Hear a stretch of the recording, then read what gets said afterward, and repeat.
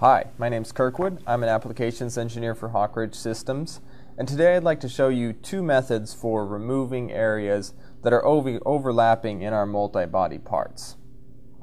So these two methods will achieve the exact same geometry and both update in very similar ways. But at the end we're going to use some tools in SOLIDWORKS to evaluate which features are more efficient in terms of rebuild times. So let's jump into the first method.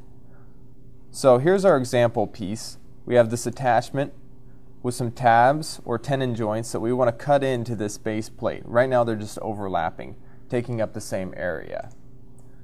So first thing we're going to do is create a copy of our attachment body. Come up here to Insert, Features, Move slash Copy Body. We'll just create a copy in the exact same place. No translation or rotation. Select OK, and ignore this notification that's just telling us we haven't moved it. That's fine. So now in our solid bodies folder we have three different bodies, the attachment, the base, and the copy. And we're going to use the copy to remove area from the base. So I'll come up here to Insert, Features, Combine. Make sure we have the subtraction operation selected, and our main body is going to be the base plate, and our body to combine is going to be the copy. So I'll select OK. Now if I hide the attachment, there's our mortise joints cut into the base plate in the exact same area that was being occupied by the attachment tenons.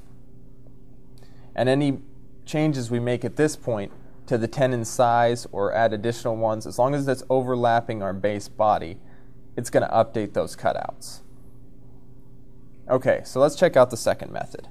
So I'll tab over to an identical model. I've just changed a couple of the colors for reference.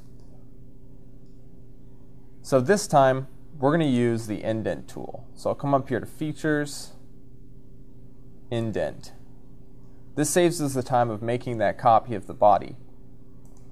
So pretty much the same selection. Our target body is going to be the base plate, and our tool body region is going to be our attachment which I'll just select in the graphics area, and we'll choose to make a cut with that area. So there's the preview of any overlapping sections.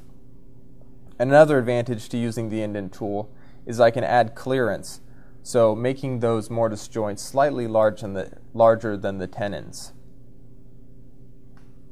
But just so we have identical models, I'm going to leave it at zero clearance. So I'll select OK. And again, just hide my attachment body and there we have our mortise joints cut out. So same geometry, and both will update if we ever change anything with the tenons. But which method's better? Which method's more efficient? To evaluate this, I'm going to use my feature statistics. So it's over here in the Evaluate tab, Statistics. This is going to give me an overall rebuild time for my entire model, as well as the rebuild times for each individual feature. So we have a cut extrude that's taking up most time at 0.42 seconds. And the next most intensive one is the indent at 0.12 seconds. So not too bad, still rebuilding very fast. Let's check out the other version. Again, coming up to evaluate statistics. Total rebuild time for this version is 9 tenths of a second, and our second most intensive feature is our combine at 0.23 seconds.